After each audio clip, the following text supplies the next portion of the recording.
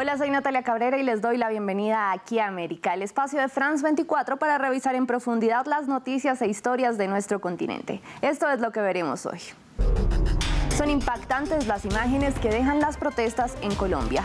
Organizaciones defensoras de los derechos humanos corroboraron el uso de artillería por parte de la fuerza pública para contener a los manifestantes, mientras Estados Unidos, los países que integran la Unión Europea y la ONU expresaron su preocupación al presidente Iván Duque. Y es que más de una semana de protestas lo tienen en jaque. El mandatario colombiano convocó al diálogo, pero hay sectores de la población que no se sienten representados. El reclamo que inició en contra de la reforma tributaria que ya fue retirada derivó en un clamor contra el uso excesivo de la fuerza policial y por políticas que eliminen la desigualdad social. Y mientras tanto, en México hay indignación por el desplome de un paso elevado del metro de la capital. Al menos 25 personas murieron en el accidente, cuyas causas son investigadas por una empresa noruega. Y vamos de inmediato a Colombia. Para tratar de entender qué está pasando debemos recapitular. A mediados de abril, el gobierno de Iván Duque presentó al Congreso su proyecto de reforma tributaria, con la que pretendía recaudar alrededor de 6 mil millones de dólares para hacer frente al déficit fiscal y ayudar a la golpeada economía colombiana a combatir los estragos causados por la pandemia del COVID-19. La reforma que les explicamos a fondo en la emisión anterior de Aquí América y que pueden volver a ver en nuestra página web era ampliamente impopular. Esto debido a que para recaudar el dinero arremetía principalmente contra los ingresos medios y bajos, en una evidente desconexión con la realidad que viven las poblaciones más necesitadas del país. Para el 28 de abril, varios sectores convocaron a un gran paro nacional y los ciudadanos salieron masivamente a las calles día tras día, obligando al presidente Duque a retirar la reforma para el 2 de mayo. Pero las protestas siguieron, principalmente de manera pacífica, ahora para exigir el retiro de otro polémico proyecto de ley, el de reforma al sistema de salud, y para pedir el fin del uso excesivo de la fuerza policial para contener las manifestaciones. Al margen se registraron hechos de violencia. El 4 de mayo varias estaciones de policía fueron vandalizadas. El caso más dramático fue en Bogotá, donde fue incendiado un comando de atención inmediata con policías dentro. Mientras que el abuso de la fuerza fue registrado en video y corroborado por organizaciones defensoras de los derechos humanos. La ONU y la Unión Europea manifestaron su preocupación, mientras que algunos congresistas en Estados Unidos incluso pidieron el fin de la colaboración económica con el país suramericano, argumentando que los contribuyentes estadounidenses no quieren que su dinero sea utilizado para prácticas represivas. Recordemos que la Unión Americana ha proveído durante años entrenamiento al ejército colombiano para luchar contra grupos armados ilegales. Eso precisamente es lo que despierta la preocupación de Human Rights Watch y Amnistía Internacional, entre otras organizaciones, que reclaman que las Fuerzas Armadas colombianas están entrenadas para combatir terroristas, no ciudadanos. Imágenes que parecen de una guerra y no de una protesta. Los ciudadanos han dejado en evidencia el uso excesivo de la fuerza por parte de la policía y organizaciones defensoras de los derechos humanos como Human Rights Watch y Amnistía Internacional corroboraron el uso de armamento militar para recuperar el control de las ciudades. Hemos corroborado el uso de tanquetas con lanzadores de proyectiles múltiples dirigidos a manifestantes. Es un arma peligrosa e indiscriminada. El Ministerio de Defensa debe dar explicaciones. En Colombia, la Policía Nacional depende del Ministerio de Defensa y no del Interior. Entre 2017 y 2019, la policía cometió 289 homicidios, casi el mismo número que el ejército. La ONG Temblores registró casi 40.000 casos de violencia física, 1.100 cada mes, y 102 casos de violencia sexual, casi tres casos al mes. Durante la primera semana de manifestaciones en Colombia, el escuadrón antidisturbios llamado ESMAD está en el punto de mira de las acusaciones de muertes en las protestas. Y no es la primera vez. Este escuadrón, creado en 1999 de manera temporal, se estableció como unidad policial con formación antisubversiva. Y desde su creación hasta 2019, se le atribuyen 43 ejecuciones extrajudiciales. En septiembre de 2020, un hombre que rompía las reglas del confinamiento perdió la vida a manos de la policía. Un hecho que desató protestas masivas y que terminaron con 13 muertes más por parte de los uniformados. Mientras que en el paro nacional de noviembre de 2019, el SMAT disparó un proyectil contra el joven Dylan Cruz y lo mató. Un evento que conmocionó al país. Un país que todavía no sabía que en el siguiente paro nacional las muertes se contarían por decenas. Para hacer frente a la crisis sin precedentes, el presidente Iván Duque instauró a un diálogo con varios sectores, como antesala de las elecciones de 2022, que condicionan las posturas de sectores políticos.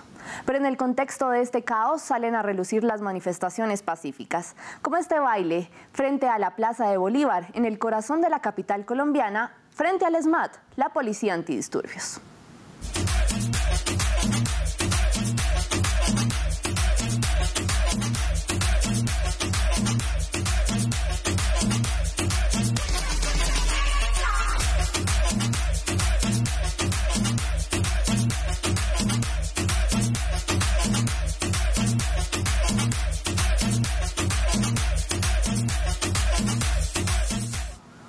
Me acompaña Pisis, a quien acabamos de ver bailando en este video del 28 de abril. Pisis es activista y bailarina. Cuéntanos, entre los reclamos de las manifestaciones están precisamente los derechos de la comunidad LGBTIQ. ¿Tienen representación en este diálogo convocado por el presidente? Y cuéntanos cuáles son los principales problemas que tiene la comunidad en Colombia.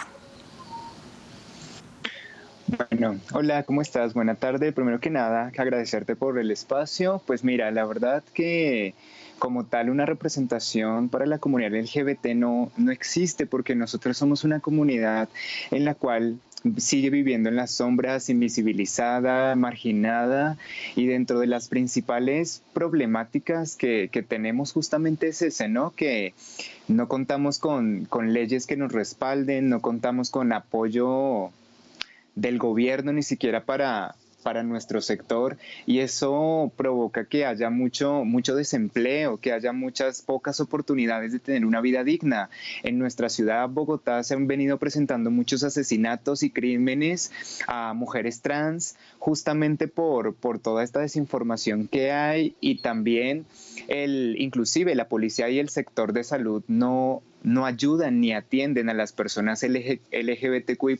Entonces es una situación bien fuerte y dramática en la cual todo lo que está pasando en el país nos afecta muchísimo, porque imagínate tú todos los filtros que ya tenemos y aparte de eso, ser una, una, comunidad tan, tan vulnerada y tan violentada día a día, la verdad que es, es muy difícil, es muy difícil vivir en un país como Colombia tan, tan machista y tan, tan, tan qué, tan...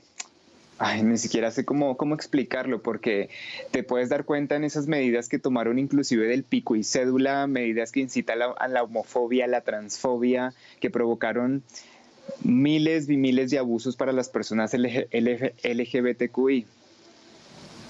Bueno, Pisi, si ustedes eligieron esta forma de protesta que es pacífica, el baile Vogue, cuéntame más de qué se trata esta, este, esta forma de expresión que ustedes viralizaron durante la primera jornada del paro nacional. Ok, bueno, el Vogue es la expresión artística, dancística, en este caso de la cultura ballroom. La cultura ballroom es una cultura maravillosa que tiene décadas existiendo, nace en New York, específicamente en Harlem, se desenvuelve desde los años 30, pero su boom fuerte es entre los finales de los 60, 70 y 80. Y bueno, esta cultura es un espacio seguro para la comunidad LGBTQI, ¿verdad?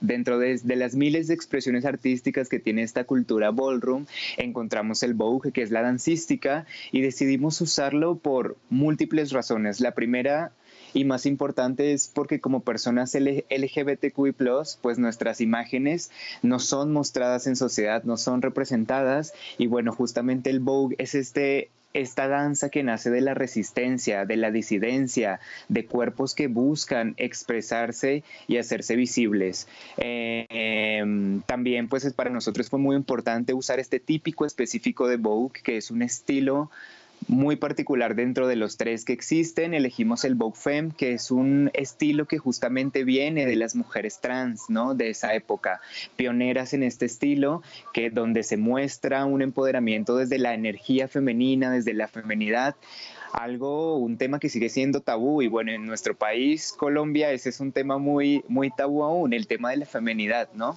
Entonces quisimos usarlo, quisimos llevarlo también a la marcha y quisimos también pues visibilizar a nuestra cultura y comunidad ballroom de aquí, de Colombia, que crece día a día. Pisis, muchas gracias por acompañarnos en Aquí América y por visibilizar esta forma de expresión artística. Y me despido con la imagen de la semana. Al menos 25 personas perdieron la vida en el desplome de un paso elevado del metro de la Ciudad de México. Los servicios de emergencia trabajaron durante varios días para buscar víctimas bajo los escombros, mientras que el presidente llamó a una investigación transparente sobre el colapso de los vagones de la línea 12, una línea con historial de problemas.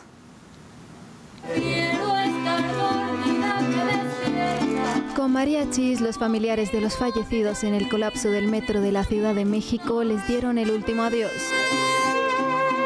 La indignación se ha apoderado de los mexicanos después de uno de los accidentes de metro más mortíferos en décadas en la capital mexicana.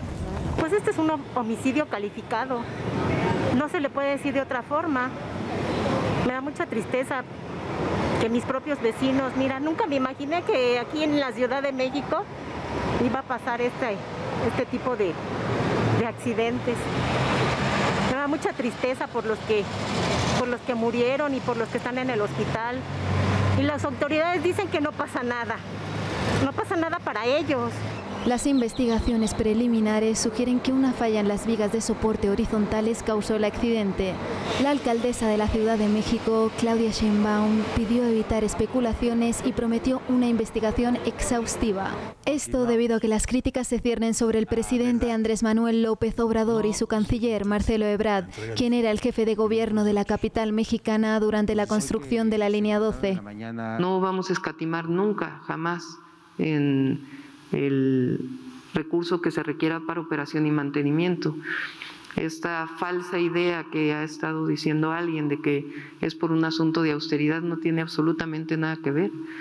La austeridad republicana para nosotros lo que significa es la disminución de o la erradicación de los gastos suntuarios del gobierno, suntuarios pero no ha habido una reducción en la operación y mantenimiento de las distintas áreas del gobierno, incluido el metro de la Ciudad de México.